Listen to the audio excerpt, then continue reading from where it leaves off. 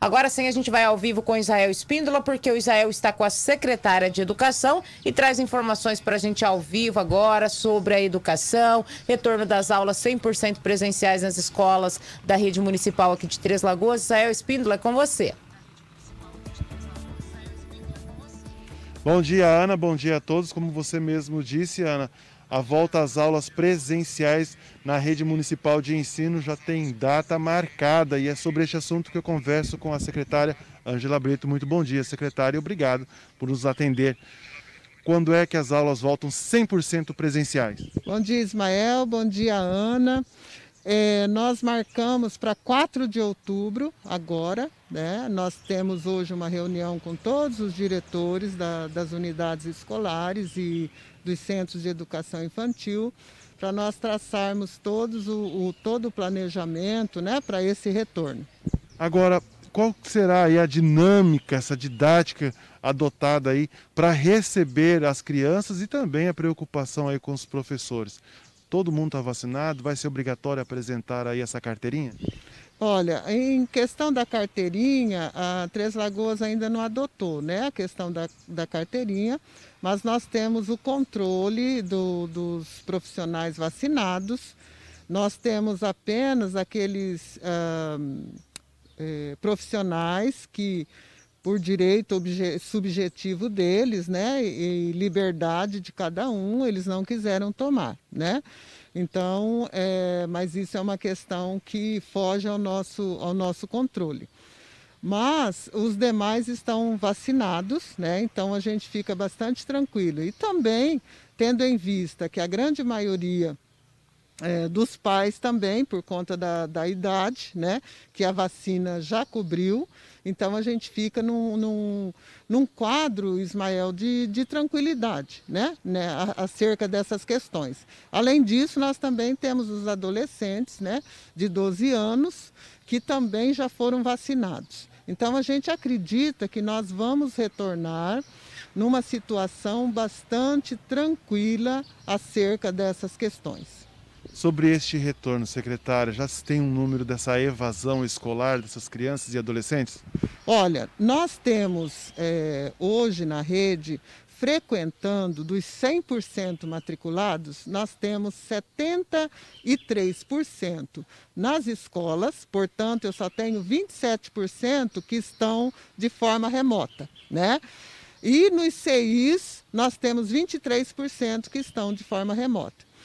É, destes 23% dos CIs e 27% é, das escolas, nós vamos agora chamar todos esses né, para assinar um termo de, de responsabilidade de retorno às aulas.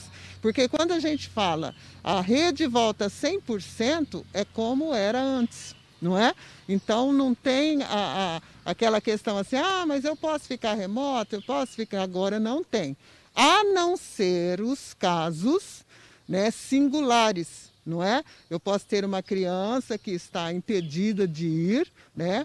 E essas crianças nós vamos olhar com bastante carinho, né?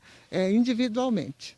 Bom, a senhora já respondeu, mas vale ressaltar novamente. A partir do dia 4 de outubro, então acaba a aula online se torna presencial, mas existem os casos de crianças ainda com comorbidades. Será feito um estudo, então? Isso, nós vamos estudar a melhor forma né, de, de atendê-los, porque hoje, Ismael, enquanto os professores estavam de, de forma híbrida, é, eles preparavam né, as atividades para aqueles que ficavam uma semana de forma remota e atendiam os demais com as atividades também que estavam sendo realizadas em sala. A partir do momento que passa a 100%, é humanamente impossível, né, esses professores atenderem a esses uh, alunos, né?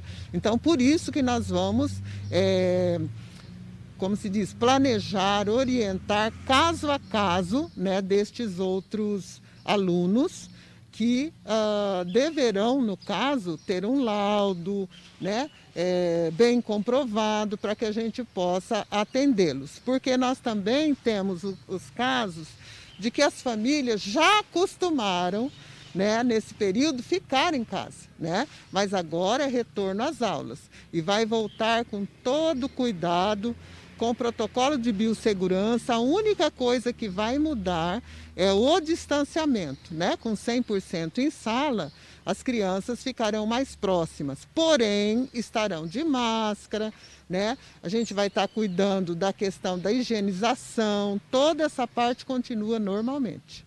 Secretária, então é bom, vai ter uma campanha já comunicando esses pais, fazendo esse chamamento, né? Para vó, semana que vem, aula presencial. E eu quero até aproveitar nessa oportunidade, né?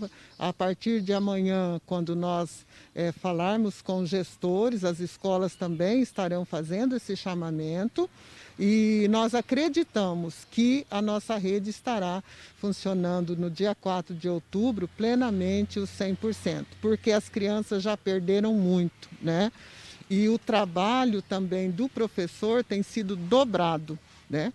Além do mais, Ismael, essas crianças vêm com uma, uma lacuna né, de aprendizagem, de, de perda que é irreparável nós já vamos demorar aí três, quatro anos para que nós possamos recompor a, a, aprendizagem dessas crianças, né?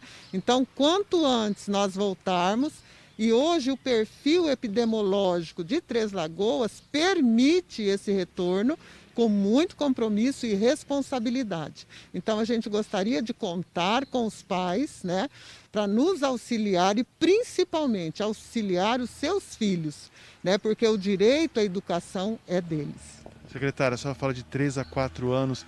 É, já era difícil essa questão da educação a, a, no nível ali fundamental, no ensino médio. O desafio agora aumentou ainda mais? Aumentou ainda mais. Então, Ismael, nós temos aí para os anos subsequentes projetos né, que vai atender essas crianças é, em tempo integral. Quando a gente traz aí a questão da tecnologia, né, também será para isso, porque eles precisarão estar é, ocupados né, no sentido da escolarização quase que o tempo todo, né?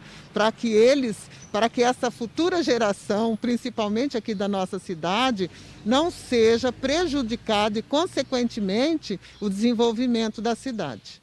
Tá certo, secretário. Muito obrigado pelas informações. Então tá a partir do dia 4 de outubro, semana que vem, aula 100% presencial em toda a rede municipal de ensino aqui de Três Lagoas. Ana? Ô, Isael, só para uma informação, eu gostaria que a secretária é, explicasse se já foi registrado algum caso de Covid aí no retorno dos alunos, com esse retorno das aulas presenciais ou ainda não? Como que está essa situação? E todos os professores já retornaram ou tem algum professor que é, não quis retornar para a sala de aula? Vamos passar para quinta para a secretária. Casos de Covid em alunos e algum professor se recusou a voltar para a sala de aula? Não, graças a Deus nós não temos nenhum caso de Covid em crianças aqui em Três Lagoas, né, nem antes nem durante esse período de educação híbrida. É, os professores também já retornaram, com exceção das grávidas, né? As, as nossos profissionais, as nossas grávidas, estão de forma remota, né, em casa. Tá certo, secretária. Ana? Só para a gente finalizar, Isé, a respeito do transporte público, como que está a situação? Os alunos da rede municipal estão sendo transportados? A gente continua sem o transporte coletivo em Três Lagoas. Como que está essa situação? Secretária. Ana, o transporte público da, dos estudantes, aqueles que fizeram a, a inscrição do passe ali de janeiro a, a março, que são 180 estudantes, nós fizemos um esforço concentrado com os ônibus que nós temos na Secretaria Municipal de Educação e estamos transportando normalmente, tá bom? Então a gente aguarda aí agora a próxima licitação do transporte para que a gente possa é, transportar os demais. Mas esses 180 nós estamos transportando normalmente. Ana? Tá certo, Israel. A gente quer agradecer pela secretária por essa entrevista. Então, confirmado, né? A partir de outubro agora, na próxima semana já os alunos voltam 100% presencial para as salas de aula, sem essa questão do escalonamento, uma sem revezamento, né? Então, na próxima semana os pais já podem mandar seus filhos para as escolas, certo?